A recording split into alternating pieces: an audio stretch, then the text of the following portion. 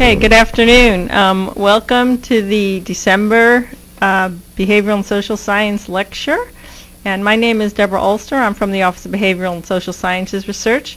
And I am uh, very pleased to introduce our speaker today, Dr. Ellen Cromley from the University of Connecticut School of Medicine, Department of Community uh, Medicine and Health Care. And also, we do have someone doing sign language interpretation who will uh, be here for those of you who might need it. Um, but if there is no one who needs it, she'll probably take off, so thank you. Um, so Ellen uh, is a medical geographer, and she completed a bachelor's degree in urban and environmental studies at Case Western Reserve University and got her master's degree in geography from Ohio State University and then a PhD in geography from the University of Kentucky. Um, I guess as a geographer, she gets around a little bit. That's my little joke for the day. um, so she spent, uh, she started off her career at the Hunter Health Plan in Lexington, Kentucky, a neighborhood health center, and also worked for the Appalachian Regional Hospitals uh, before her career as a professor in the Department of Geography at the University of Connecticut. She has uh, been active on projects that have been funded by many of the NIH institutes, including the National Institute of Alcohol Abuse and Alcoholism, the National Institute on Drug Abuse, and the National Institute of Mental Health. Uh, she's also been a consultant on a project funded by the National Cancer Institute. So uh, I don't want to spend uh, a lot of time talking about her many accomplishments because I think we'd all much rather hear from Ellen than hear from me.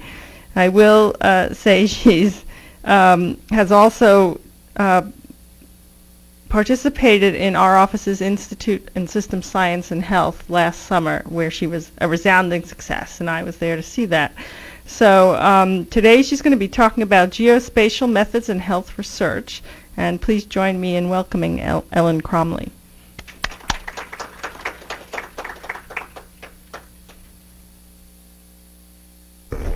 Thank you to uh, Ronald Abeles and Deborah Olster for inviting me to speak with you as part of the NIH Behavioral and Social Science Lecture Series, and thank you for attending. My presentation considers geospatial methods as they might be related to the mission of the National Institutes of Health. That mission is to seek fundamental knowledge about the nature and behavior of living systems and the application of that knowledge to enhance health, lengthen life, and reduce the burdens of illness and disability. As Deb said, I'm a geographer, and we like to say geographers have a good excuse for being practically anywhere. And my field is the study of the Earth's surface as the living environment of human populations. As a medical geographer, I study geographical patterns of health and disease, the organization of health services and geographical factors affecting their utilization, and the application of geospatial methods in this research. This afternoon, we'll consider three main topics. First, for the, about the first 10 minutes, we'll consider some key concepts in geospatial analysis and the importance of this approach, why we need it. Second, the bulk of my presentation will be an exploration of a range of geospatial methods by showing how they have been used in health research. And finally, the last slide uh, offers my ideas about some opportunities for advancing the use of geospatial methods at NIH. And I have provided a copy of my presentation in the form of notes pages showing each slide and then on the bottom there's the text of my remarks and this text includes citations to the journal literature and to some of the websites. So if you're interested there's a copy here you can grab a copy or I'm sure Deb can help you find one. So you can just kind of sit back and listen. What are geospatial methods? Broadly speaking, they are methods that take into account location or position in space.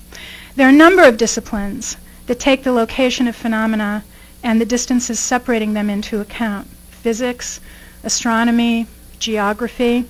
These are examples of spatial sciences. The term geospatial indicates that the space of interest is the surface of the Earth. Geospatial methods are the key to understanding processes where results change when the locations of the phenomena being analyzed change. For example, the speed of infectious disease diffusion might change if people were spread farther apart in space.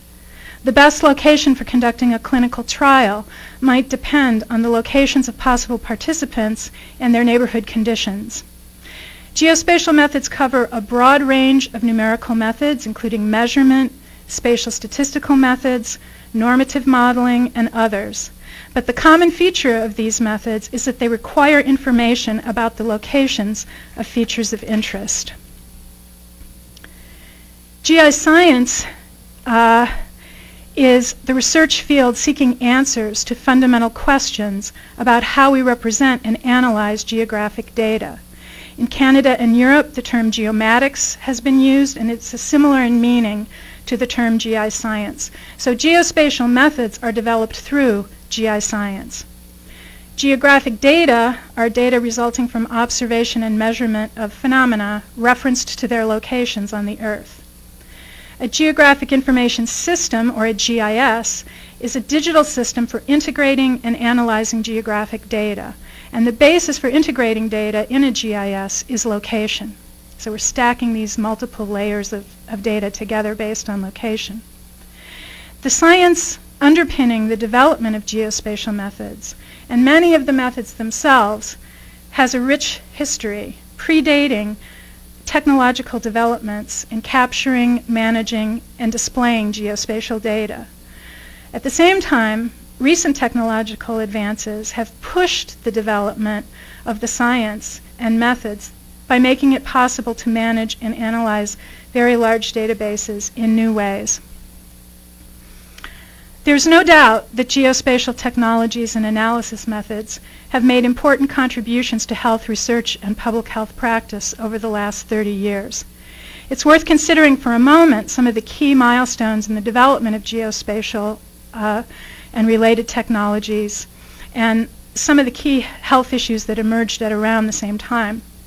The first Landsat satellite for imagery was launched in 1972. That was the year I graduated from high school. So this, this slide is kind of like my life passing before my eyes. Um, the, uh, the, for the 1980 census, the innovative GBF DIME files were developed to help conduct the census in urban areas.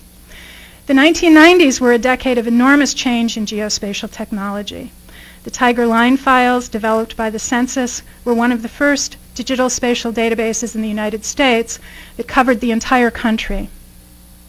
This decade also witnessed the launch of the World Wide Web for the internet for internet browsing, which led to the development of search engines such as Google.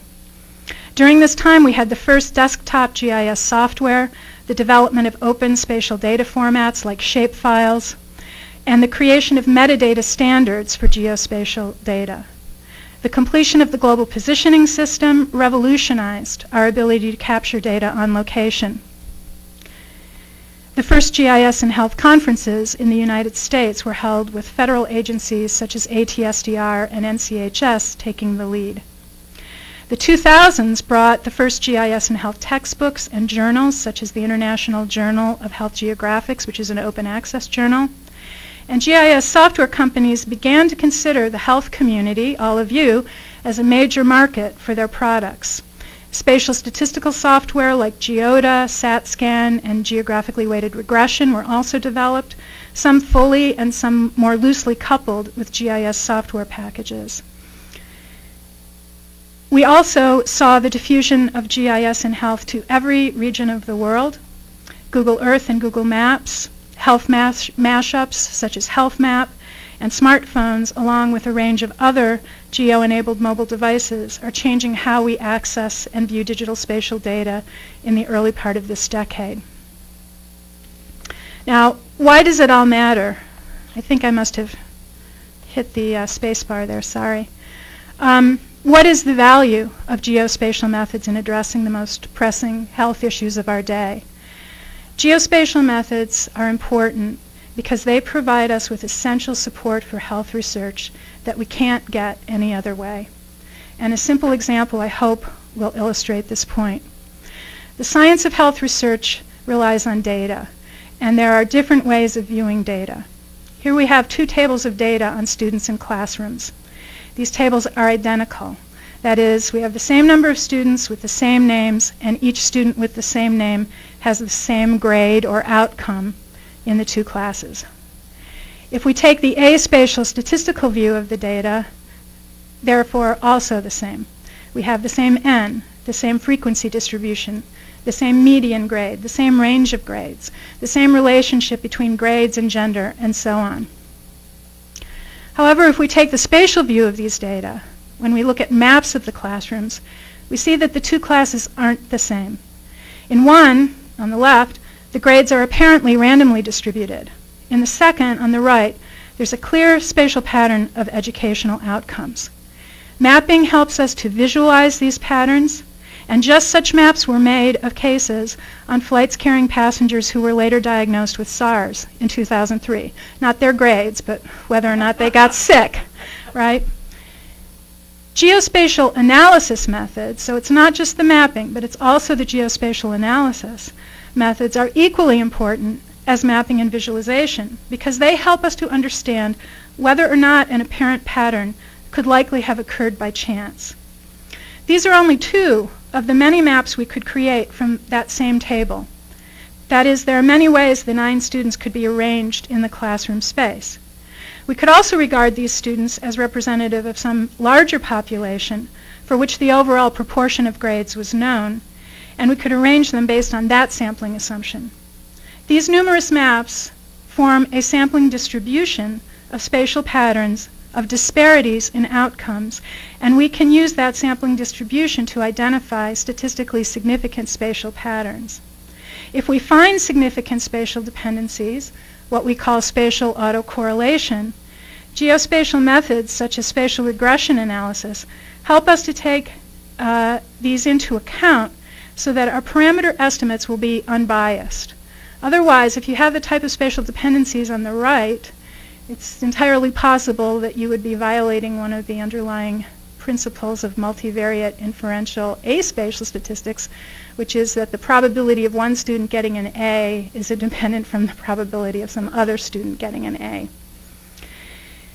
And spatial methods help us to integrate these outcomes data with other data based on location so that we can understand environmental conditions or behaviors in the classroom that may have affected the pattern of outcomes. For example, lighting, noise, or cheating. Not only does the spatial view, provide us with information we cannot obtain in any other way, that is through tables and traditional statistics, that information is important information to have because one of these two views better describes the reality we're trying to understand about processes, mechanisms, and outcomes. That's the first part of the talk. Now that we've reviewed some of the key concepts, we can explore how geospatial methods are used in health research by walking through the steps we would take to understand a health problem. At each step, we'll be looking at examples drawn from the literature. These examples will not all be drawn from a single study, but they should provide you with a sense of how geospatial analysis of a health question would proceed. The first step in any geospatial analysis of health is measuring location. That is, putting the features of interest onto the Earth's surface. Today, this is accomplished by using the Global Positioning System and other similar technologies that aren't necessarily satellite-based, through address match geocoding, or by acquiring digital spatial databases from secondary public and private sources, often by downloading data from a website. These data can be added to, or in the case of address match geocoding, created using the software functions of a GIS application. This map shows us part of the rich history of geospatial methods implemented before the advent of the new technologies. This map is from 1819 and it plots yellow fever cases near Old Slip in lower Manhattan. And we have the East River along the bottom, and the street on the far right is Wall Street. So it's the very southern part of Manhattan, and we've rotated uh, the view. A version of this map, which is in the public domain, is in the National Library of Medicine. along with earlier yellow fever maps for cities dating to 1796. This is before Snow's map of cholera. These maps show highly disaggregate individual level data mapped by residents. They were made to investigate the cause of yellow fever at a time when its etiology was unknown. The cases on this map are also labeled to show the temporal order of sickening, so we know that time-space patterns were of interest in 1819. Unfortunately, we will not be able to discuss time and time-space methods today, but I hope you will be able to consider these in another lecture in your series. There are strong connections between medical mapping and the development of thematic cartography. So health mapping drove the development of cartography. Thematic maps are maps that show a spatial pattern. They're not the kind of map you use to figure out how to get from point A to point B. Although the spatial view of data is very powerful, it's also limited and potentially misleading. This is a map of motor vehicle collisions occurring on federal and state roads in Connecticut in 1995 and 1996. What you're seeing here are the dots representing the collisions. This isn't the roads, right? So that's, that's how many collisions there were. Uh, motor vehicle collisions are an important cause of traumatic injury in the U.S. and many other countries around the world. Um, they're a leading cause of death in the U.S., especially among people under 35 years of age, and they rank third overall behind cancer and diseases of the heart in terms of years of life lost. Collision databases are interesting because they're one of the few sources of surveillance data reporting individual, environmental, and behavioral elements of the health event. The data for this study were drawn from the Connecticut Codes Project, that stands for Crash Outcome Data Evaluation System, and these projects were funded by the National Highway Traffic Safety Administration. The Connecticut DOT Department of Transportation geocoded the collision locations by longitude, latitude. So this is the 124,053 collisions on federal and state roads in Connecticut in 1995 and 1996. And please take note of the scale. Connecticut's a really small state. It's about 50 miles north to south, about 100 miles east to west. We're about the same size as Harris County, Texas, which is where Houston is located. So we're talking about a really small space here. Once we've located the phenomena of interest, the next step in an analysis often involves calculating distance. Distance is a measure of separation in space, and it's a key geographic concept and a required measure in many geospatial methods, as we'll see. There are various ways we can measure distance if we're using locations on the geographic grid, a model of the globe, we compute spherical distance, measuring the arc of the circle that connects those two points on the globe. If we're dealing with projected data, which puts all this information into a two-dimensional planar space, we can calculate Euclidean distance, which you probably remember from high school, or straight line distance. We can calculate taxicab distance or distance along the street network. GIS software functions enable us to calculate distances, and spatial analytic functions often allow us to specify which method we want to use when we're calculating distance. Different methods for calculating distance will yield different results. So here we apply three different methods for calculating the distance between a person's home and two different food stores. So distance measures of this type are widely used in studies of the food environment and obesity, for example. The Euclidean distance by definition is the shortest. The circle shows a quarter mile buffer around the home location as the crow flies. And note that store number two is just inside the buffer and store number one is just outside of it. When we measure distance the way a person might actually walk it along the street network, uh, we can see that store number one, which is outside the buffer, is actually closer to the home than store number two. So it's important to pay attention to how distance is calculated. One way we can try to make sense of the mass of data we have before us is to aggregate the data. Geospatial methods help us to group observations based on spatial relationships. The point and polygon method of aggregation has been one of the most widely uh, used and usually the polygons represent political or administrative units, like counties or something like that.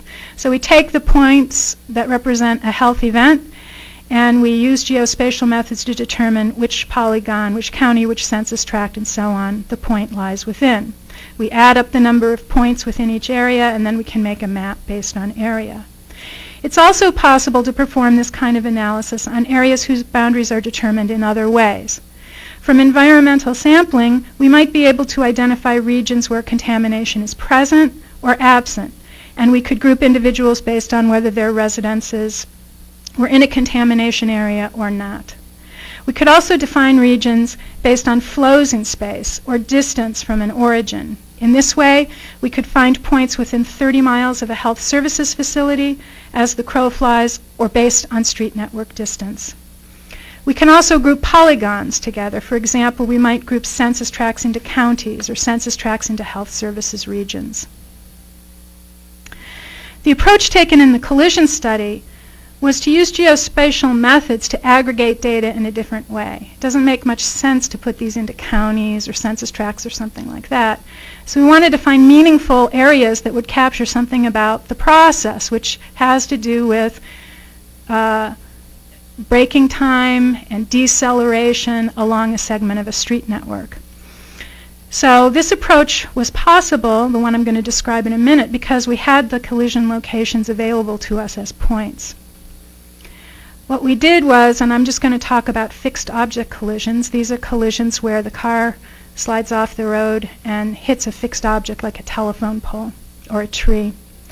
Um, we used a distance of one quarter mile around the collision location on the street network. So if you can picture going to a collision and then looking at this direction along the street network and kind of making a little rectangle around that, we can look at that collision and all the other collisions that happened in this area. And that was determined by actually looking up all the engineering tests on how long it would take you to stop a car traveling a certain number of miles an hour on a dry road after you hit the brake. So we generated these kernels or box windows around every single collision in this database. I'm, not, I'm just only going to talk about fixed objects and only the top 10.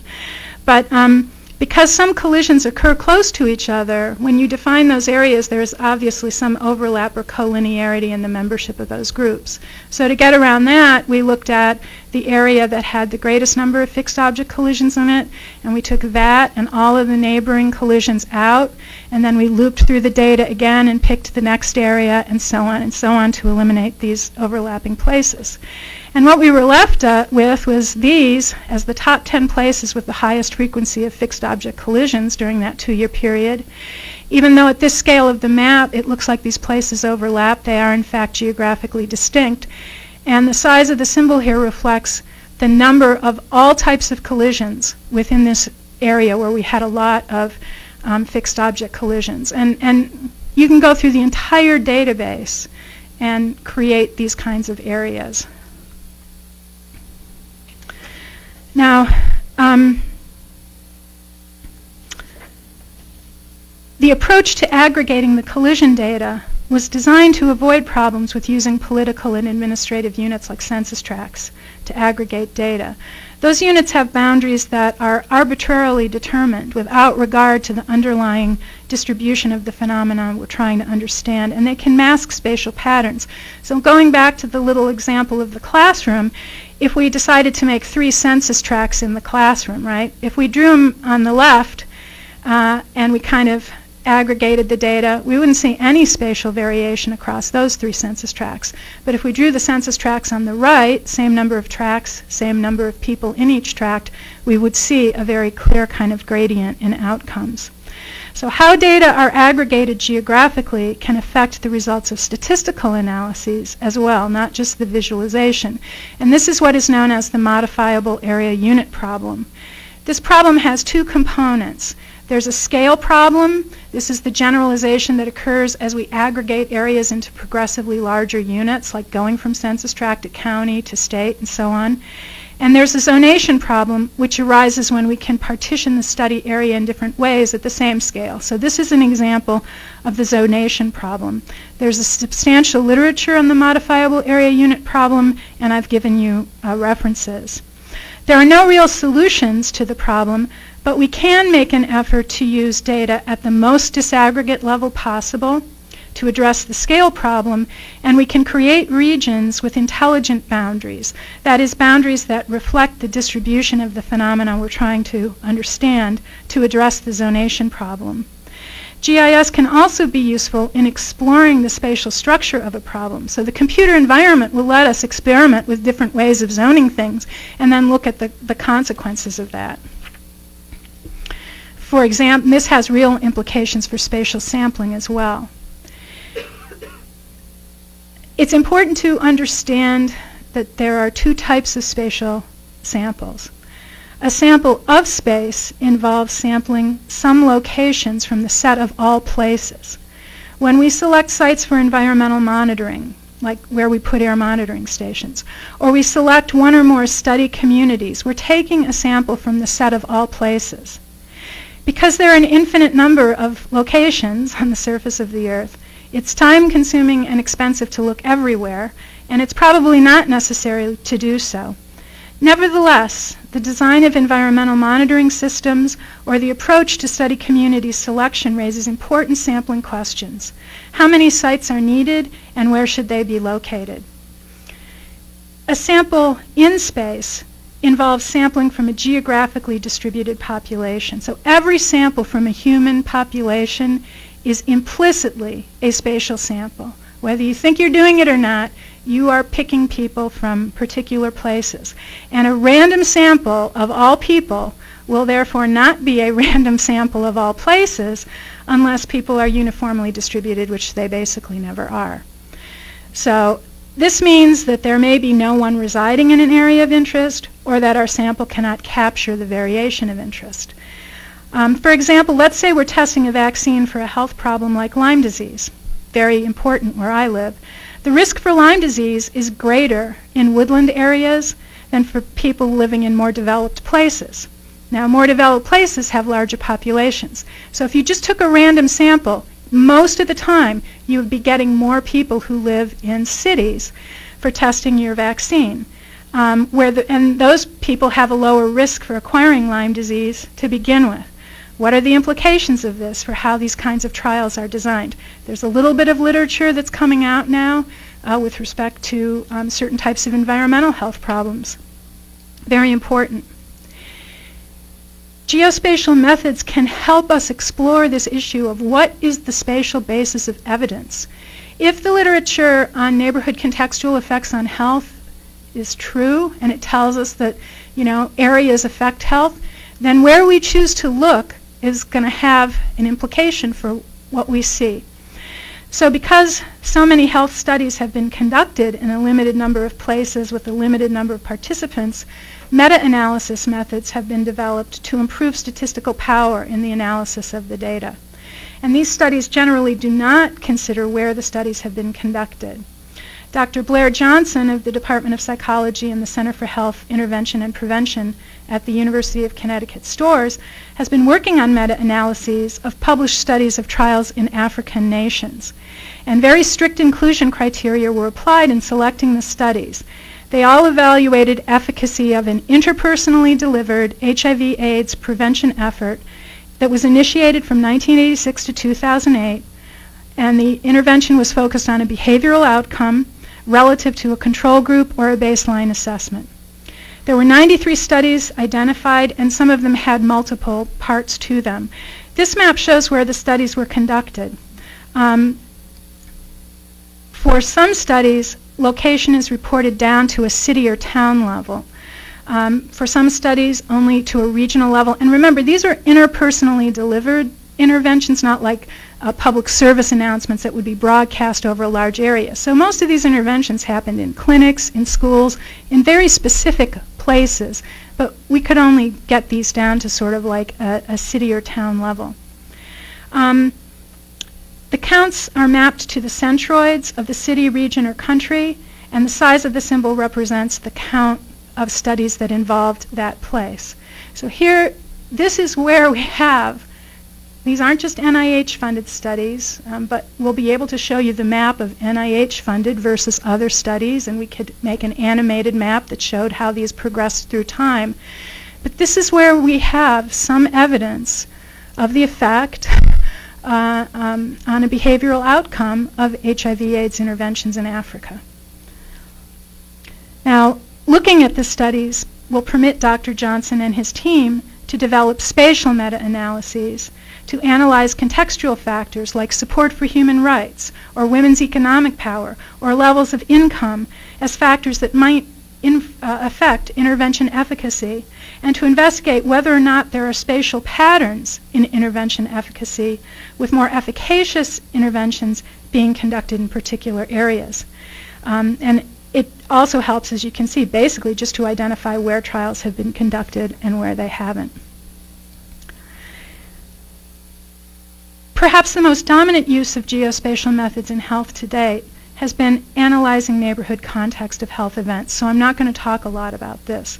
But this involves using geospatial methods to put an individual in an area and take into account area characteristics in explaining the health of the individual. Hierarchical modeling is the primary method used in much of this research. This approach has made health studies more geographic in the sense that we know something about the local environment, but it has not necessarily made this research more spatial because we don't take into account this spatial autocorrelation or dependencies from one neighborhood to the next. And I have a citation if you want to follow up on this. So as a result, um, I think we sometimes see inconsistent results in studies conducted across different localities. Does the presence of a park lead to more physical activity or not?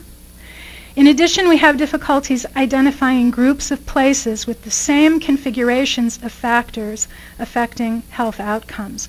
So despite all of this detailed spatially extensive data, many analysis many analysts are still falling back on aggregate or global methods of analysis, which do not help us uncover key spatial patterns of interest. Geospatial methods can be used to analyze spatial patterns and processes. I'm going to talk a little bit about patterns first. Spatial clustering methods help us to analyze spatial patterns in data, and there are a wide range of clustering methods. Some are global methods, and by this I mean they identify whether or not there's an overall pattern of clustering. Others are local methods used to identify the number and locations of individual clusters. And all of these techniques have in common that they rely on being able to describe the distances separating or the proximity of neighboring areas or health events.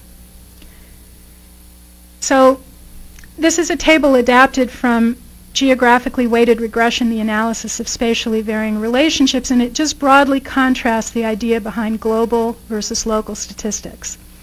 Global statistics summarize data for entire regions, yielding a single statistic which is often aspatial and can provide misleading interpretations of local relationships. Local statistics, on the other hand, summarize data for individual places, within, within entire regions. So you get multiple statistics, one for each place. These are potentially interesting when they're mapped, and they're useful for exploratory data analysis, for confirmatory analysis, and for building more powerful global models. The most recent versions of widely used GIS software packages are incorporating more spatial statistical functions for both global and local uh, analyses. For example, we can perform global and local clustering analyses. Or we can do an ordinary least squares regression. We can check for spatial autocorrelation. And then we can run a, a spatial regression model or we can do geographically weighted regression in which spatial variations in the regression parameters can be observed. Moran's I is a global measure of spatial pattern clustering, spatial autocorrelation in data. Positive spatial autocorrelation means that like values are clustered together, like that classroom on the right. Negative spatial autocorrelation means that high and low values alternate in a kind of checkerboard pattern. Or we can have a random pattern of uh, values. Moran's I was used here to investigate whether or not there was a pattern of overall clustering of average depressive symptom scores among community living elderly participants in a telephone survey conducted in New Jersey. And a significant pattern of positive spatial autocorrelation was found here. So the red dots here mean that these are census tract centroids where at least one survey respondent reported a depressive symptom score greater than or equal to 10. And if there's just a black dot, it means there was a participant, at least one participant at that location, and none of those participants reported a depressive symptom score um, greater than or equal to 10. And the gray shaded areas are tracts with at least one participant. The big boundaries you see are county boundaries. Um, so what this tells us is a global, a global measure is, yes, there's clustering of depressive, elderly people with depressive symptoms here based on residence. But it doesn't tell us how many clusters or where they are. The LISA statistic is a local measure of spatial autocorrelation. Stands for local indicators of spatial autocorrelation. And it measures the association between the value at a particular place and the values for neighboring areas. And there are different ways you can define neighboring areas. This map shows the locations of census tracts with high average depressive symptom scores that are surrounded by other tracts with high depressive symptom scores. So we're getting away from this thing of the census tract boundaries splitting up a pattern of interest. These clusters are statistically significant, meaning that it's unlikely that these could have occurred by chance. This method can also identify significant clusters where tracts with low average scores are surrounded by tracts with low average scores, kind of cool spots or tracts with high average scores that are surrounded by tracts with low average scores, and so on. And we can also go back to the individual people and find individuals who had low depressive symptom scores, but they were living in tracts where everybody else was high and they were surrounded by high people. Those would be really interesting people to look at because it's like what accounts for their resilience. With this understanding of data, we can design better studies investigating neighborhood contextual effects on depression, intervention trials, and service delivery systems. In addition to analyzing spatial patterns in data, we can use spatial statistical methods to investigate processes. Spatial statistical methods, again, take into account location.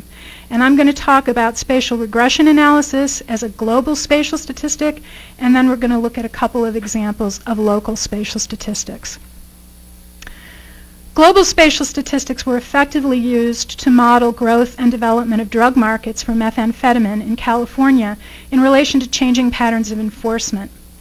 The researchers used zip-level spatial data and simultaneous autoregressive mo spatial models to, co to correct for spatial autocorrelation of model residuals, which, if uncorrected, would induce bias in the parameter estimates. The authors eloquently express the value of a spatially extensive approach, and I'm quoting them. The scale of the market is not that of a single social network, neighborhood, or city, but rather that of neighborhoods within cities and communities across the state and across national boundaries, i.e. between California and Mexico. The results were consistent with two possible explanations for the observed patterns an increase in methamphetamine use in rural California. That's what was observed over the time period. But this could have been to kind of enlargement of the overall operation of this market with diffusion of, of meth labs to rural areas, or it could have been a displacement of the meth labs out of urban areas into rural areas where uh, enforcement could be better um, evaded. This is how you would formulate a spatial regression model. This looks pretty familiar to you, except the third term. The, that third term basically is pulling out of what would be just the random error term, the spatially autocorrelated error. So uh, we're, we're dealing with the spatial error on its own, and then we have still a random error left over. And here, the non-random spatial error um, which captures the spatial structure of the spatially dependent error, has lambda as the spatial autoregressive coefficient or the error parameter, and what's in the summation sign is the sum of the spatial weights multiplied by the spatially dependent error with respect to observation i. And you can compute a spatial weights matrix, again using different approaches, using GIS software once you have all the information um, in your software application. Returning to the study of collisions, we can look at how local spatial statistics were used to understand processes occurring at the various collision sites. Local proportions and local odds ratios were calculated to assess the importance of individual environmental and behavioral factors associated with collisions at different places. Are the same factors associated with the same outcome, fixed object collisions, across all places?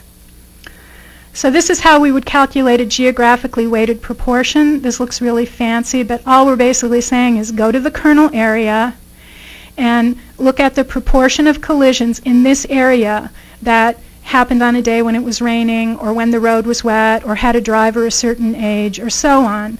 And um, do this proportion just like we would for the state as a whole. If you want to, you can weight the uh, collisions based on where they are within this area, but I use a simple binary weighting where it's zero if it's outside the kernel area or if it's one inside. And then the geographically weighted odds ratio is basically doing the same thing. You're just calculating an odds ratio for fixed object versus other types of collisions based on some other dimension like road was wet or dry within this kernel area.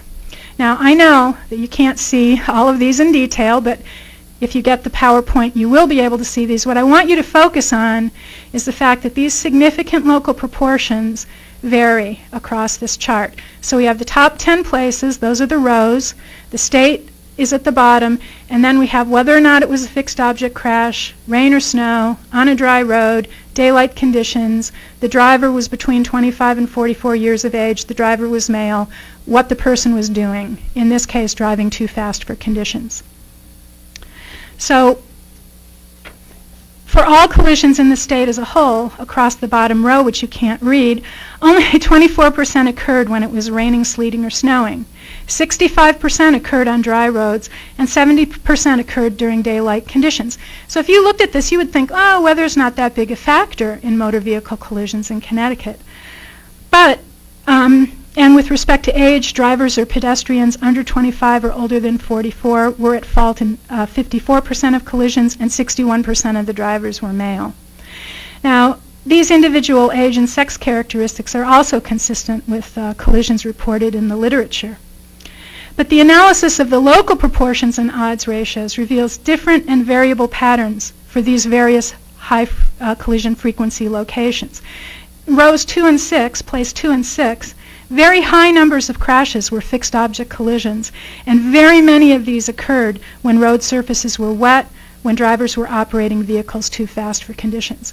So in some places, if it's not a rainy day, we don't have crashes. But when crashes occur, it is a rainy day and the roads are wet. That doesn't apply everywhere in Connecticut, but if we're going to figure out what to do at these places to stop these health events from occurring, we need to know what the configuration of events is that's coming together in a particular location. And it may not be the same everywhere across the state. If you look at place number 10, there aren't any differences between the characteristics of collisions occurring at those places and the, the, the state. But if you look at place uh, number 5, it has significantly different things going on there in almost every dimension from collisions in the state as a whole, and also from some of the other uh, high fixed object collision sites. Local odds ratios reveal some additional patterns of interest and the value of using odds ratios in addition to proportions. So place 6 again, for example, was not, the local odds were not significant for rain or snow, even though a lot of fixed object collisions, a lot of collisions there happened on, on rainy or snowy days. And what that suggests is all types of collisions occurring there, not just the fixed object ones, were affected by rain and snow. So I hope this, this gives you uh, the idea. And this leads us to the idea of spatially varying relationships. We can use geospatial methods to map data on the amount of time a person spends outdoors, for example. And that would vary spatially, perhaps. We can use geospatial techniques to monitor model and map geographical variations in air quality, for example. But it's also possible that the very relationship between the amount of time you spend outdoors, air quality, and health outcomes itself varies geographically. And if this is the case, we need to be able to find the set of places, or what we might call the spatial domain, where particular processes are, are at work. I don't want you to think that this is an example of what we call in geography exceptionalism, that every place is just so special and we can't make any generalizations. It's not that. It's that we need to search for the set of places across which a particular set of generalizations apply. And the generalizations might not apply everywhere. One of the important techniques we have available for investigating spatially varying processes is geographically weighted regression. And this is a model that evaluates relationships among independent and dependent variables in a way for particular places so that these regression parameters can vary spatially.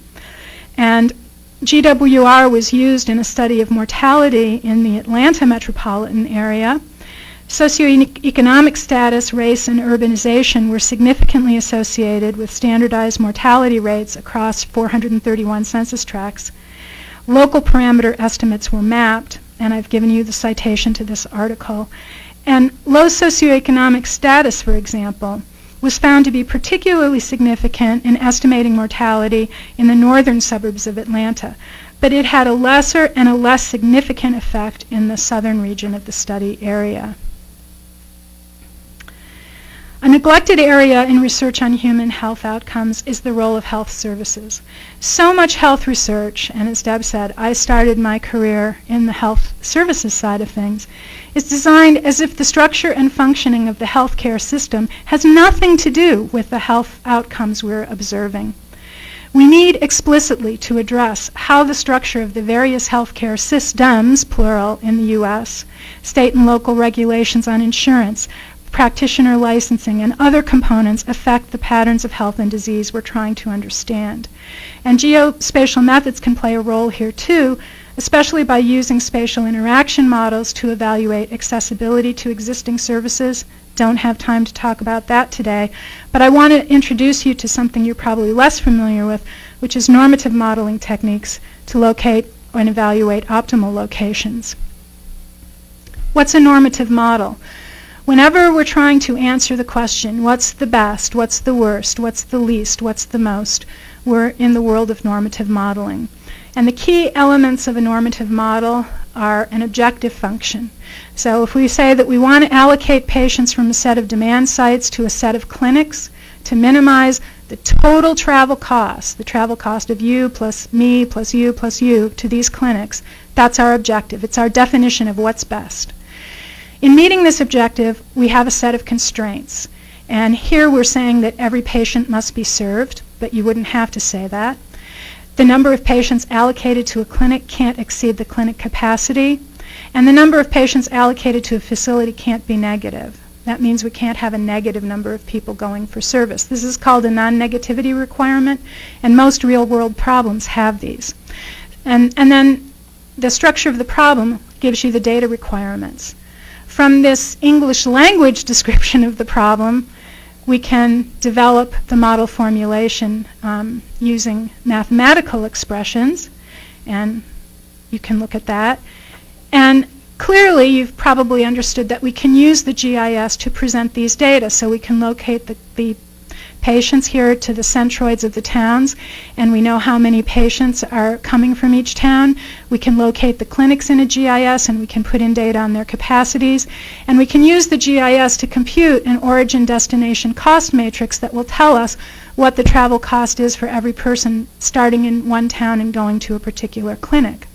Now, for very large problems, we can't solve these inside the GIS software package. We would have to use something like SAS-OR or CPLEX or some other method. Small problems you can use using the solver in even in Excel.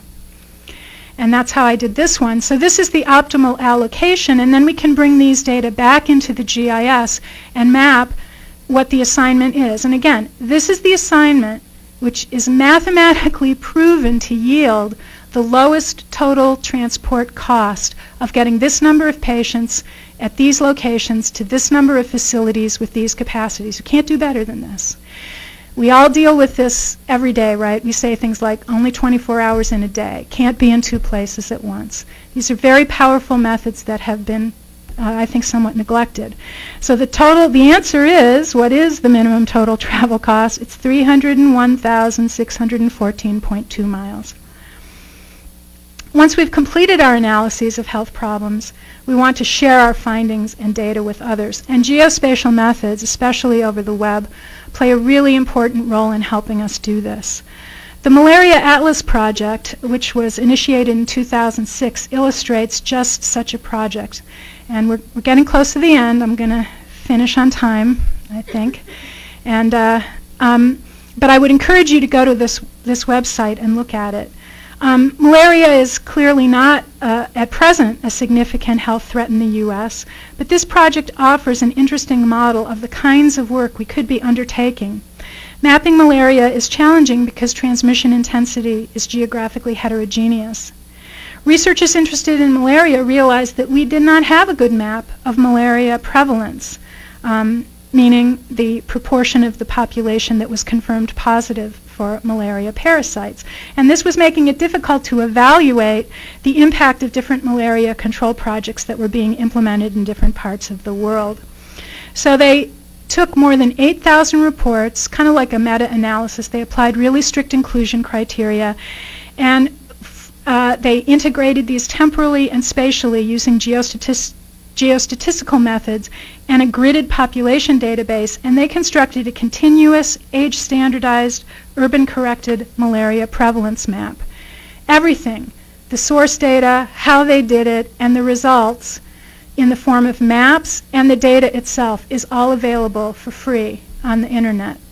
So this is an example of a regional uh, limit and endemicity map um, which is downloadable in PDF format from the web, but they also let you download the actual gridded data in GeoTIFF format and in ASCII format. And a GeoTIFF is just a TIFF file that has information in it so that you can register it to its correct place on the surface of the Earth. So now they're serving up the data so that other researchers can use uh, these data for whatever they want to. More importantly, because they used geospatial statistical methods, and in Bayesian techniques, they were able to generate information about spatial error. So for some parts of the world, based on the underlying distribution of reports, where we have more reports, we're more confident that we know what the true prevalence is. So they also publish spatial error maps, and we really need to be doing a lot more work on spatial concentration and error. Um, the bright green area on this map shows an area of higher uncertainty in the prevalence data. And again, these are downloadable as PDF maps and in GeoTIFF and ASCII formats for the data.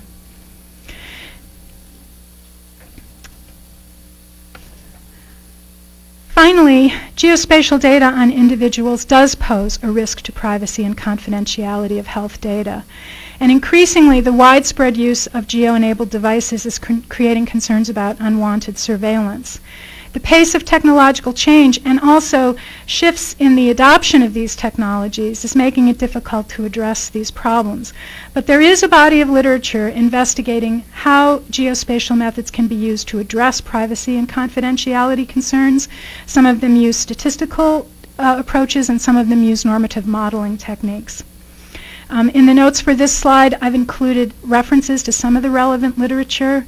I think improved informed consent procedures directly addressing geospatial risks, geospatial data risks and protections are greatly needed. So this is the last slide. What can NIH do? I invite you to consider four steps that you can take to support geospatial methods in health research. First, engage with health research educators to make sure that geo spatial methods are required preparation for people who are coming into the field. There's been tremendous growth in the use of GIS in health, but GIS and geospatial methods are still not widely and deeply embedded in the education of public health professionals, epidemiologists, and health researchers. Most people still have no exposure to these methods, and they're critical. Second, support research linking groups of health researchers and health professionals in spatially extensive studies that use the same methods across multiple sites. Select the study sites carefully and investigate both the patterns and significant patterns of spatial error. I think the days when we're doing a one-off study in a particular community using a highly specialized method, um, we, we, might want to reconsider that. I, I, wrote notes here. Don't harangue people. You know, be careful what, what I'm saying. But, but um, they're doing this in Europe to, with great success. So they'll have uh, 25 teams of researchers using, a, using a, the same land use regression model to predict atmospheric pollution uh, in different countries. They validate it against uh, actual observational data. They can analyze spatial error, and then that feeds back into building better land use regression models.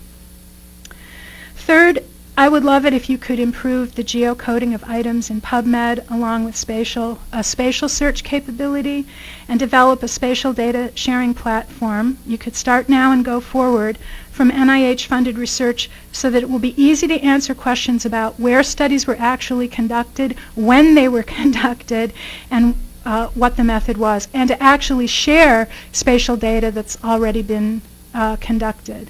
Um, and I think you already have keywords for articles that are in PubMed. Those keywords should include, you know, the where and the time of the data collection, because otherwise we just can't search it. And I don't think that this is, maybe I'm wrong. I was working with Colette Hochstein, and I know there's a whole process. We were trying to get more of the terminology of some of these spatial methods in as search terms in the MeSH subheadings, and I understand there's a long process. But it could make it, if nothing else, the next time Congress calls and wants to know uh, how much, how many research dollars have we spent in Egypt, you'll be able to easily answer that question, and it won't be so hard. And finally, if you could get OHRP to organize a training program on geospatial data, privacy, and confidentiality to improve practices, to set a research agenda, and, and to uh, have Center for Scientific Review staffers and reviewers participate, um, people at NIH, editors of journals, um, and health professionals, and so on. And we in the health field need to be really engaged in the ongoing public policy debate about what's happening with data privacy. And I, I don't think we have been sufficiently. And I'm ready to take your questions, but please remember, if you remember nothing else from this talk, that the space is part of the science. The location isn't something that just gets added on later. It's part of the data, and it should be part of the methods too. Thank you very much.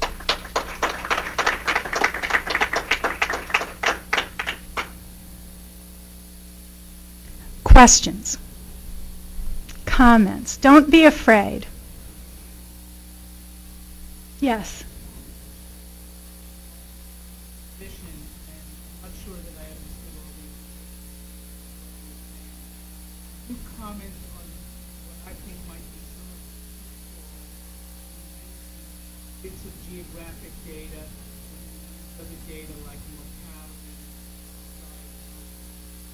Well, ta- why don't you? I, wanted. That's it, of regression approach. The using in that way.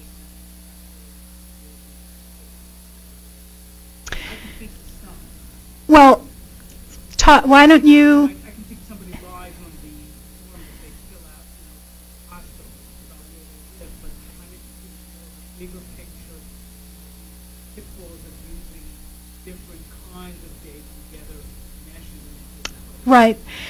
I think one pitfall that you would have to start with from the get-go is that if you're looking at somebody who is um, you know, my age. I'm going to be 58, and I live in Connecticut, but I didn't live in Connecticut all my life.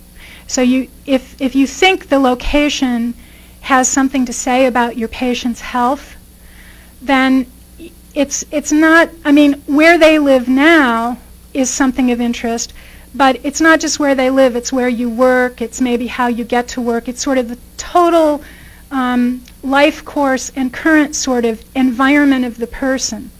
And we do have good spatial methods to uh, capture what's called like the activity space of the person. So if you think about your own life, you know, if you live in one place, which most of us do, although not everybody, and you work in one place, there's kind of like a spatial routine, right? You get up in the morning, you usually take the same route to work, you spend most of your day at work, and maybe there are a couple of other places you go. And so we've made a lot of progress in modeling that, what we would call the environment of the person. And now what we need to do is figure out better ways to group people who actually share the same environments because um, if you live with children or you have a spouse, even though you share the same residential location, you may actually circulate in very different parts of the Washington, D.C. space. I think another interesting question around that from the point of view of disease transmission is, is it the routine geography of the person? Or, I mean, I'm way out of my activity space today. Like the person on the plane who gets SARS, is it the, is it the unpredictable trip that you make that has and influences influences the disease the diseases you're exposed to. We're at a disadvantage in the United States because we don't maintain detailed residential history data on most people in the United States. But in other countries of the world, particularly the Scandinavian countries, they have complete detailed residential histories for every person in the country.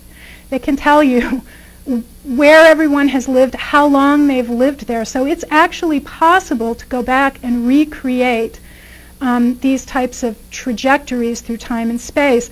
So you could go back and see not just are you living close to some facility now that's highly polluting, but did you live there during some critical period of your life?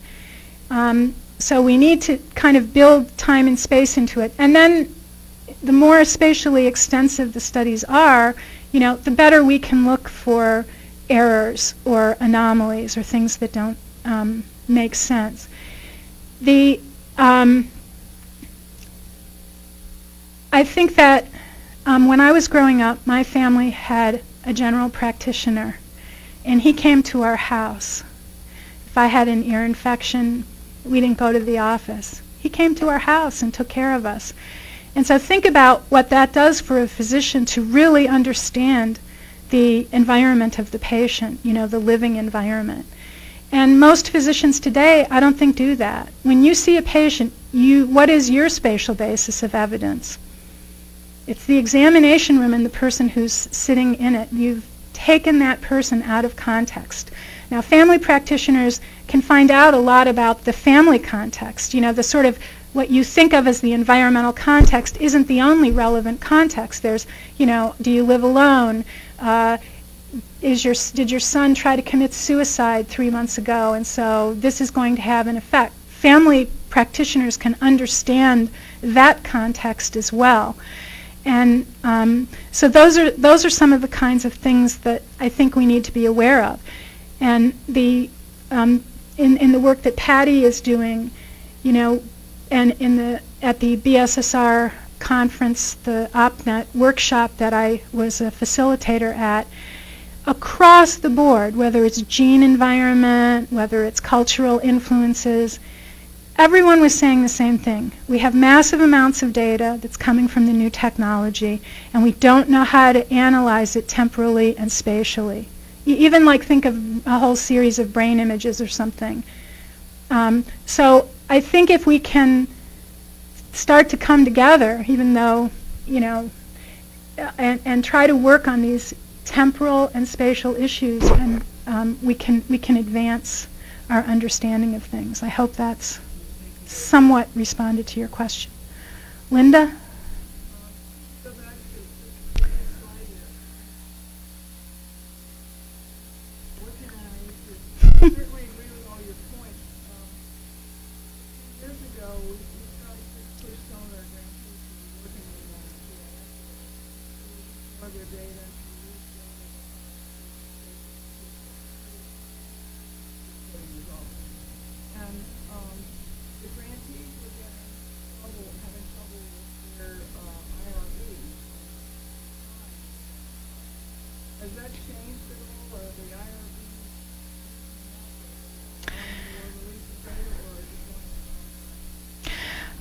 Think that many individuals who serve on IRBs, because of the education problem I mentioned in point one, are not as knowledgeable as they might be about these methods. And that's why I think we really need a massive education effort. I spent a lot of, when I worked at the Institute for Community Research, we had our own IRB, and I spent a lot of time just explaining to people, you know, uh, what we wanted to do. I think informed consent is the key, and I think you should be looking at this prospectively, going forward, and saying to people, one, people need to be informed that any geographic data you're collecting about them, like where they live or whatever, is part of the data for the study. And I've been irritated in the past when I've looked at grants and people had contact information and then they suddenly realize they're sitting on spatial data and they can go back and geocode it. But those individuals are never consented that that address information was going to be used in that way. So we need to recognize the space is part of the science. It's part of the data for the study, and people need to have this specifically mentioned to them. They need to be told that they can refuse if they want to, and they need to be told about the risks to privacy. Like if you make a map showing individual locations, that can be reverse geo coded and it can be used to identify people. So explain that briefly and you can come up with language for this and then say what steps you are taking to ensure that you're not going to publish those kinds of maps. And that's why I included journal editors in this because most of them don't understand it either. And, and this goes even beyond mapping. I mean, with your geo-enabled device, you know, even if they don't know anything about you, they can pretty much triangulate and get to pretty close to your home location. So that the technology itself is, is moving rapidly away.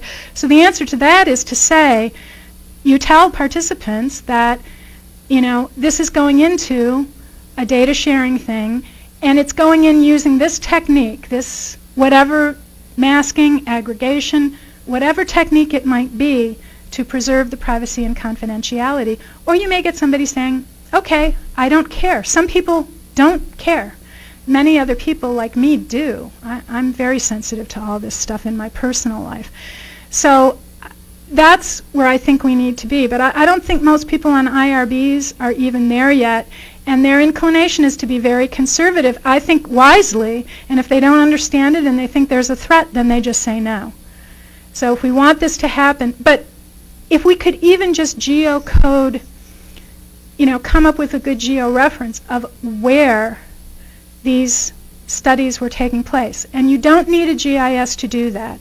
You can go into Google Maps, you can pan over to India, you can find the little school on the Google Maps, and if you right-click and scroll down to what's here, the longitude, latitude will come up. That's all somebody would have to do to give you a geocode for this place where this study occurred. Or you could zoom out and just do it to the town and put that in. And uh, there's a great book by Linda Hill called Georeferencing. She's a librarian. It's more complicated than that, but um, we need to push it in this direction. I just don't think we're even there yet, even close to being there yet with IRBs, but we need to give them this information. We really need to do this work.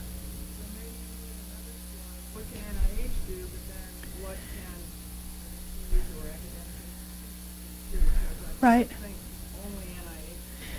No, most of the things I listed here are things, I think to me, they're trying to build off stuff you're doing already, right? You already do PubMed, you already do keywords. We're just trying to tweak it. You already do human subject stuff. We just need to tweak that. It, and the, I also want to say to people who work for the government, which most of you do, I was at a conference uh, sponsored by ESRI, which is one of the big software companies, maybe 15 years ago now in Washington, and a gentleman stood up and said, I work for a company that manages the prescription drug benefit for Anthem somebody somebody, and we have a database of every prescription um, written by our insurers in the United States. And I'm here to try to find out how to analyze these data. I almost fell off the podium, you know, because the message, another message I want to leave with you here at NIH, or if you're from CDC or whatever, believe me, the private sector has this information about us. They're using it, but they're using it in ways that we can't see because they're proprietary interests. And I don't know how you get at the regulatory thing around that.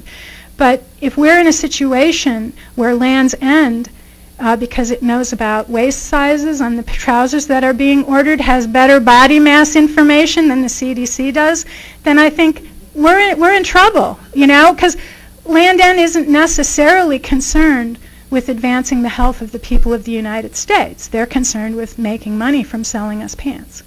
So, you know, the, we need to understand, I mean, eh, whenever students used to say, well, what good is it to study social science? Believe me, businesses use social science all the time, um, you know, against us, or maybe not necessarily always to serve our interests. I got to stop and leave time for more questions.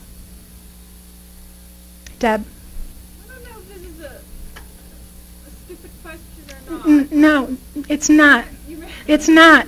Okay. If, if, if you're asking a question you don't know the answer to, it's not a stupid question. So you mentioned how in some other countries they have good historical data on where people have lived throughout their entire lives. And so you can put the person in that place and I, but my question is, do we keep what I would think would be equally important data about what is in those places? That's another huge problem, and I've harangued the other side of the, the table on this. Now, some areas are better than others. If you look at like weather and climate and some kinds of environmental data, we, we do have big, long kind of archives of that type of data at, at whatever scale, and there may be problems with it. But if you're looking at something like what is the structure of a public drinking water system in a particular place, these data have been managed using GIS systems now probably for 15 to 20 years by engineering departments and stuff. When they put in a new water main, they update their GIS database. I don't think they're saving the old stuff. So we have no way, we're not going to be able to go back. If we find that there was a contamination event 10 years ago, we're not going to be able to go back and say, well, what was the public drinking water system like 10 years ago when the event occurred? So that's not a stupid question at all. And we, I think that I have begged, um, you know, just how come we still have this 1819 map of yellow fever hanging around? Because somebody saved it, somebody kept track of the metadata about it, where it came from, and somebody put it in the public domain. Um, it's an irony of the computer age that many of us actually have less access to less detailed geospatial information than we did to in the 1970s when a lot of stuff was paper. Um, so that's something we absolutely also have to be working on. It's not just the it's not just the health community. And I also want to say that this problem is compounded in a country like the United States because we have a federal system of government. And even though people like to think that we have a really strong central government in the U.S., compared to a lot of other countries, we really don't. Most things happen at the state level or the local level. Land use, for example, local level. In Denmark, I was at the Danish equivalent of USGS once, and they were giving a talk, and they it was a small group. I was there with a bunch of map librarians, and they came out and rolled out this really old map that they had taken out of their archives, and they said the Danish cadastre, this is the map of like property records, dates to the ninth century. They can go back to the ninth century and figure out who owned parcels of land. In Connecticut, we have parcels that have never been surveyed. They've, they had metes and bounds descriptions and they've been handed down within families. And there's just this description like, okay, go to the big tree on the corner and then go, so, you know. So for all this technology, in many areas, we don't, we don't have um, good contextual data to hook onto that. Yes?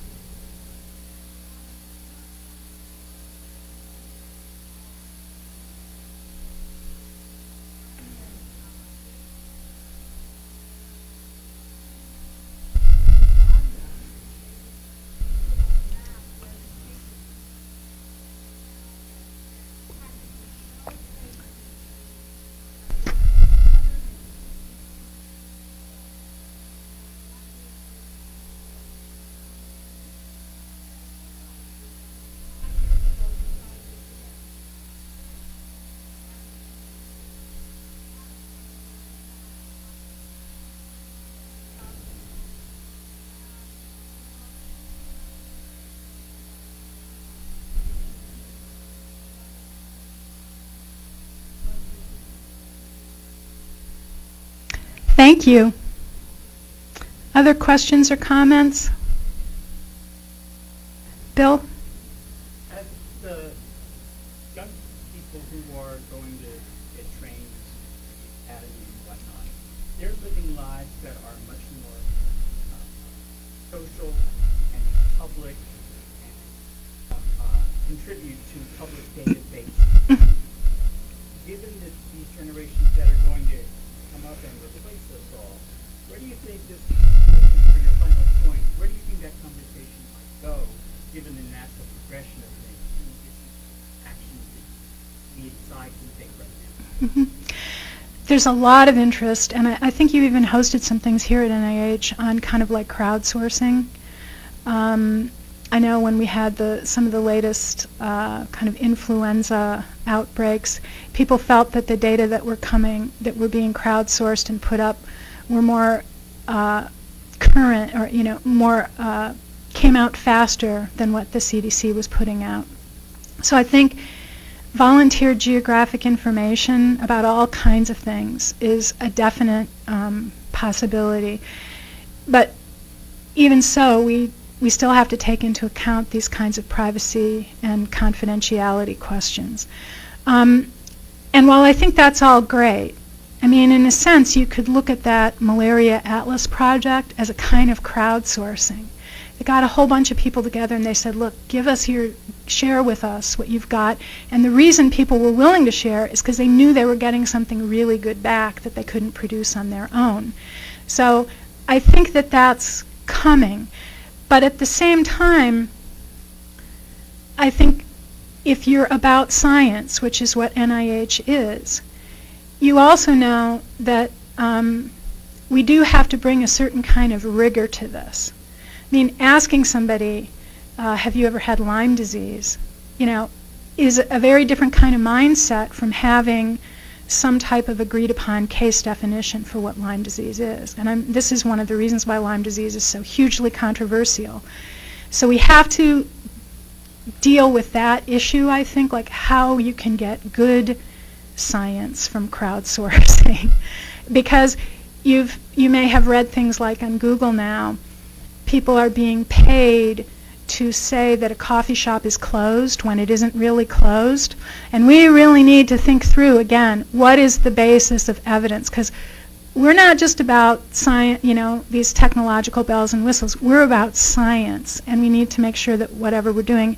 The other point I would make about the young people is uh, one of the reasons Sara and I wrote the first edition of our book, which came out more than 10, well, 10 years ago, is because we taught and we knew that if you wanted to get things taught, there had to at least be one textbook or a couple of textbooks. So we were hoping that if we wrote a textbook, we'd get more people teaching this in schools of public health and other areas. Um, there's definitely been a pushback uh, coming, and, and I went um, before a talk I gave this summer in Atlanta. I looked online at the most recent accreditation criteria you know, what you're supposed to teach people who are getting degrees in schools of public health and, you know, what the, what the curriculum should be and everything. There's not a single mention of community, the word community, neighborhood, GIS, geographic, no time-space analyses. And I understand that, you know, there's a whole kind of politics around this, but I think it's a really serious issue in this country. You know, what and it's not that the universities don't have access to the software, and probably most schools of public health have computer labs and stuff now, but they're not required to take it. They're not required to know it. And so how many generations, even just over the last 10 years since we've had GPS and all that, how many generations We've had, what, 10 classes of Masters in Public Health students coming out over the last 10 years, most of whom have had no exposure to these methods. They also have no exposure to the U.S. Census, which is the main source of population data in our country, and so on. So that's the educational issue. And you, can, you at NIH can spend however much money you spend on a career development award getting somebody like me to help somebody like Blair out for free. I mean, I help him for free. He gets something out of it that seems like a pretty inefficient way to me to educate people. I could see when these methods were new and people realistically could not have been expected to have been taught this when they were in school. But, you know, when I first went to UConn, our cartography courses were hand drawing and photo reproduction of maps. We, and I'm, you know, that was in 1984. We had to make a decision when these new technologies came online that they were revolutionizing our field and we had to get rid of the darkroom and the camera and the drawing tables and the mylar and the pens and we had to put in computers that could do this software. And I was already out. I had never been educated in this stuff when I was in graduate school, but we did it because we knew we had to. And I think we need to get there with health education. And thank you for letting me be so blunt. uh, it's done. I know we're, we're probably way over time.